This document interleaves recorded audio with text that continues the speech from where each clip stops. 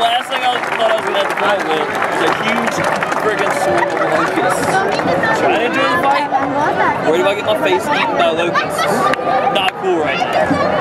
Hey, I can't watch the bullfight because I'm worried about getting my face eaten. You know about to get my face. And does the guy on the horse know this going on right now? Don't open your mouth. I think that this is the end of the world. The Mayan calendar is coming true.